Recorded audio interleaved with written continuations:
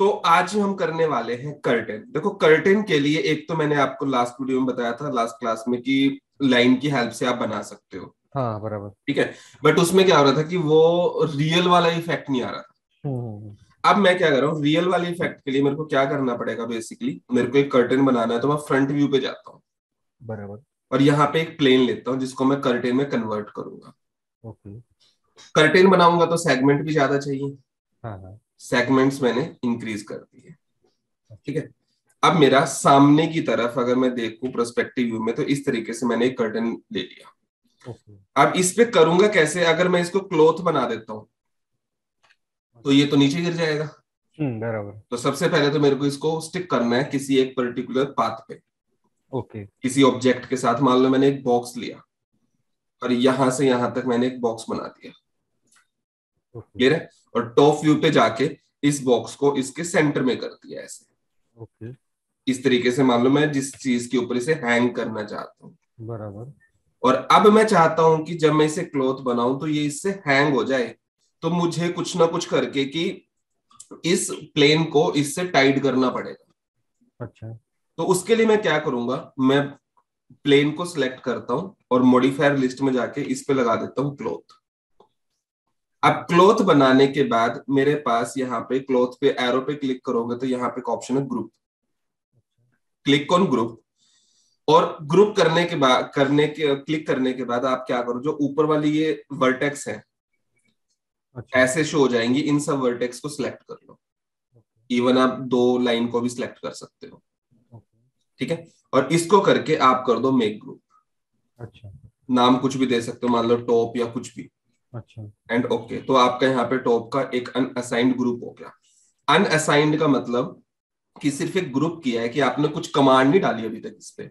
अच्छा। मैंने इतने पार्ट को ग्रुप कर दिया। ग्रुप करने का मतलब है मैंने इतने पार्ट को एक एल्फी से चिपका दिया फेविक्विक से। ओके अब इसको मेरे को चिपकाना है बॉक्स के साथ। ओके तो यहाँ पे एक ऑप्शन है नोड क्लिक ऑन नोड और इस बॉक्स पे क्लिक कर दो। तो यहाँ पे ऑप्शन आ गया top node to box one अच्छा। अब ये इसके साथ अटैच है। अच्छा। ठीक है? अब आपका काम खत्म। हो गया बस इतना ही करना था। अच्छा। अब करना क्या है? क्लोथ के प्रॉपर्टी ऑब्जेक्ट प्रॉपर्टी पे जाओ और इस प्लेन को बना दो क्या? क्लोथ। अब पर्दे के लिए आप कोई भी क्लोथ बना सकते हो। मान लो मैं सेटिंग लेता हूँ। एंड ओके ठीक है? अब मुझे क्या करना है? अब मैं कर दूँगा सिमुलेट लोकल अच्छा। जैसे सिमुलेट लोकल करूँगा ये पर्दे की तरह रिएक्ट करेगा और देखो ऐसे आ गया। अब मैं क्या करूँगा इस बॉक्स पे क्लिक करूँगा। सिमुलेट लोकल चल रहा है। हम्म, इस बॉक्स को मैं स्केल करूँगा। जैसे जैसे मैं स्केल करूँगा वो उसकी तरीके से ही पर्दा बनता चला जाएगा। हम्म, समझ रहे हो? हम्म, मैं इसको कम ऐसे स्केल कर रहा हूँ। और वो नोड से टाइट है वहाँ पे। तो उसके अकॉर्डिंग वो आपका क्लोथ भी इसी तरीके से रिएक्ट कर रहा है। करेक्ट अब तो आ रहा है रियल इफ़ेक्ट करेक्ट करेक्ट समझ रहे हो? जब आपको लगे कि अब आपका आ गया इफ़ेक्ट तो अब आप इस पे क्लिक करो और सिमुलेट लोकल को ऑफ़ कर दो तो आपका इस तरीके से इफ़ेक्ट आ जाएगा. अच्छा। अब आप इसके ऊपर और इसकी फिनिशिंग के लिए इसको सिलेक्ट करो इस पे लगा दो शेल हल्की सी थिकनेस आप दे सकते हो इसकी. ठीक है? और शेल लगाने के बाद इसे स्मूथ करना है तो आप इस पे लगा दो टर्बो स्मूथ हम्म, स्मूथ इसे स्मूथ कर दो वन ही टाइम लगाओ बस बहुत है। अब देखो आ गया स्मूथ आपका। हम्म, हम्म, हम्म, अब आप इसे कहीं पे भी यूज़ कर सकते हो कॉपी कर सकते हो जो भी कर सकते हो। समझ गए? ठीक है? चलो। अब ये तो हो गया ये चीज़। अब मैं चाहता हूँ कि जो कर्टेन मैं लगाऊँ ऊपर से तो ऐसे हो नीचे से ऐसे टाइट करने वाला नहीं होता। हाँ बराबर। कि कुछ इस तरीके से आ जाए। जैसे आपका इस टाइप से टाइट करते हैं जैसे। ठीक है? इस टाइप से। इस टाइप से आ जाए तो इसको कैसे करें? इस टाइप से अगर आपको पर्दा लगाना है तो। हाँ, और इसमें भी वो ऊपर से छोटा नहीं हुआ है ऊपर हाँ ऊपर। से बड़ा है नीचे से ऐसे घुमा के। बराबर। ऐसे। तो इसके लिए मान लो मैंने डिलीट किया इसे दोबारा फ्रंट पे गया दोबारा मैंने यहाँ से एक प्लेन लिया और एक प्लेन बनाया सेगमेंट आपने देख लिया उतनी ही। है दोबारा एक बॉक्स लिया और एक बॉक्स यहाँ पे मैंने क्रिएट कर दिया टॉप पे गया और इस बॉक्स को इसके सेंटर में कर दिया। इतना तो क्लियर है? हाँ हाँ। दोबारा मैंने क्या किया? इसको सिलेक्ट किया? क्लॉथ मॉडिफायर लगाया प्लेन के ऊपर। और क्लॉथ लगा के ग्रुप पे क्लिक किया। इतने पोर्शन को सिलेक्ट किया ऊपर वाले को। इसको क्या कर दिया? Make group. ओके और नोड पे क्लिक करके मैंने इस बॉक्स के साथ नोड कर दिया। क्लियर है? उसके बाद इसको सिलेक्ट किया। अब ऊपर से तो मैंने कर दिया काम। बीच वाला चाहिए? हाँ हाँ। तो मैं इस बॉक्स को सिलेक्ट करता हूँ शिफ्ट प्रेस करके नीचे की तरफ़ कॉपी कर देता हूँ।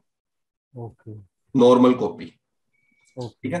कॉपी करने के बाद अब मैं दोबारा से इस पे क्लिक करता हूँ ग्रुप पे क्लिक करता हूँ और इतने वर्टेक्स को दोबारा सिलेक्ट करता हूँ बीच वाले को। मेक ग्रुप दोबारा से करता हूँ और इस पे मैं नोड लगा देता हूँ ये वाली। अब ये स्टक हो गया उसके साथ और ये स्टक हो गया इसके साथ। बराबर। अब ऑब्जेक्ट प्रॉपर्टी प्लेन को सिलेक्ट करो क्लिक ऑन क्लॉथ और यहाँ पे आप सेटिंग पे क्लिक करो ओके अब जब आप यहाँ पे सिमुलेट लोकल करोगे तो दोनों के साथ स्टक है। अब मैं ऊपर वाले को नहीं छेड़ूँगा मैं नीचे वाले को छेड़ता हूँ। अच्छा।